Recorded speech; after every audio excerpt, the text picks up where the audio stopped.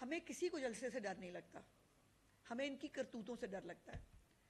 इनकी इनकी बैकग्राउंड से डर लगता है कि इनको पाकिस्तान में हालात खराब करने के लिए प्लांट किया गया है और किसी भी तरह से हालात को खराब करने की इजाज़त नहीं दी जाएगी।